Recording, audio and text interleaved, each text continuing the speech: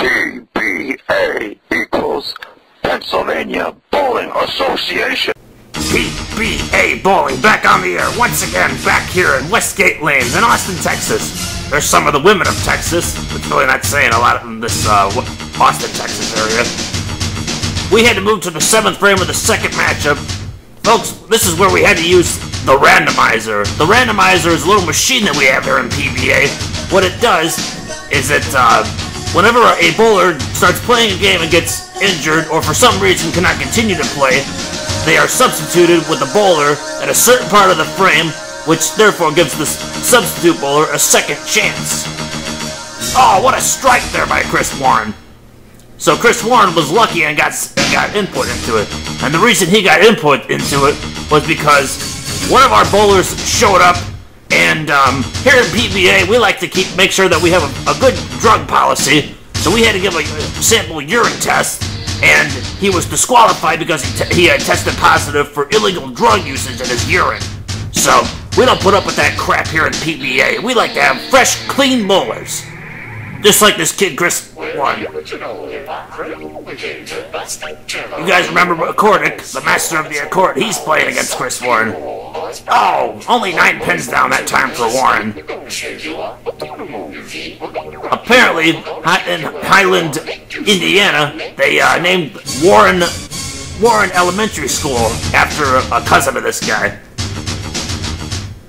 I don't know why he was waving his arm like that. That didn't really change the uh, effect of the bowling ball hitting the pins or anything. I don't know. Maybe they do that as like part of this guy's like cultural heritage or something.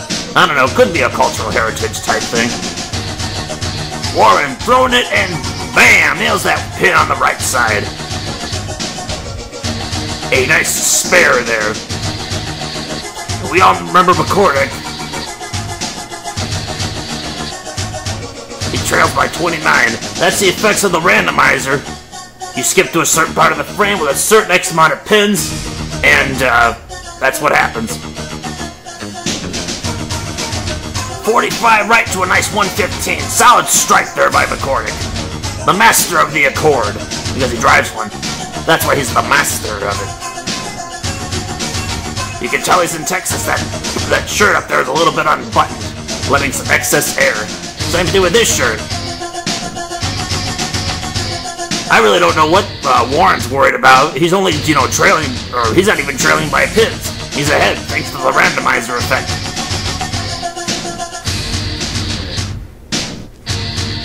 Corrick staring a hole through those pins. He said they're not going to be standing when I'm done with them. 45, all right to about a 110. Gets nine pins down. He should have only had eight pins, but one of the pins rolled into that very one on the right side. Folks, I promise you, the next time we come back on the air, I am to memorize the actual uh, number of these pins, like their actual numbers, like in pool how the balls are assigned numbers, and then I will definitely know how to call the action. Oh, and he picks up the spare. Good job there, McCordic, the master of the accord.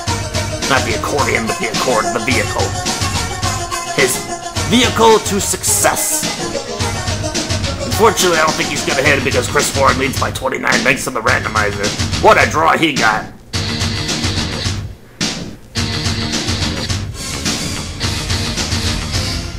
I think Warren believes that his bowling ball has to always be very clean when he throws it.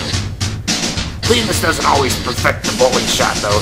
45, right into the 135. What a strike there. Warren's grandma's in the crowd. She's definitely happy about that.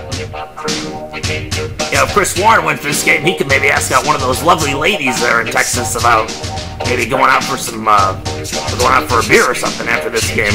I don't think he's gonna lose with with the randomizer working on his side. Man, how lucky is this guy?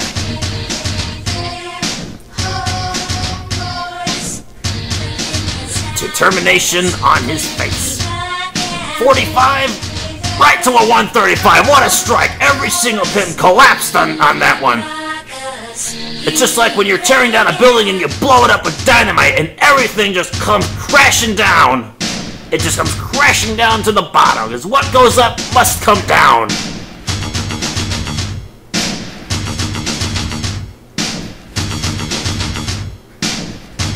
Let's see what else I can do. It seemed kind of weird on the last frame he stood back a little bit more. Oh, and only nine pins down. I wonder if that played a purpose in that. Maybe he was testing the water, so to speak, in the next game that he plays.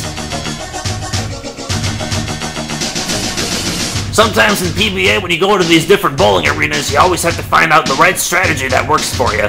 Sometimes standing up closer, sometimes standing back further. However many steps you take. Look at Cordic just, oh. You know, that was kind of weird how Cordic blatantly stood up in his way that time. Like he wanted him to miss it. I think Cordic was just like, shit, I gotta do something, man. So he stood up and got in his way, and he only got down one pin. That was kind of low on uh, McCordic's part. McCordic tries a nice 90 degree angle shot and gets a nice strike. Good job there by McCordic. He finishes fourth place. I don't know if who else was in that uh, tournament or whatever, but yeah. I don't think he won this game though. We haven't we haven't rang the bell. We haven't uh, made any announcements or anything about it. So theoretically, he hasn't lost yet. Oh!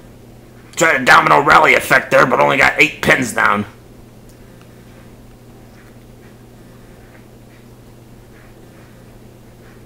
Yep, the randomizer. The machine that makes it all possible to always get ahead.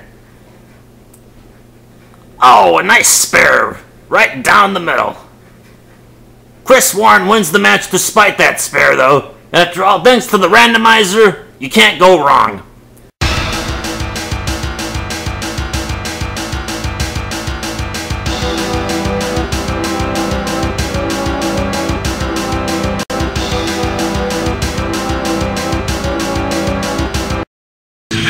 Bitch. What you were doing, you to understand? You understand me? Yes. And there's a look at the largest crowd ever to show up for the televised finals of the Austin 50 Open. people worth. crowds all week long, and uh, there you see some of the lovely ladies representing the state of Texas. Oh, they're so attractive. They'll be appearing in Maxim magazine.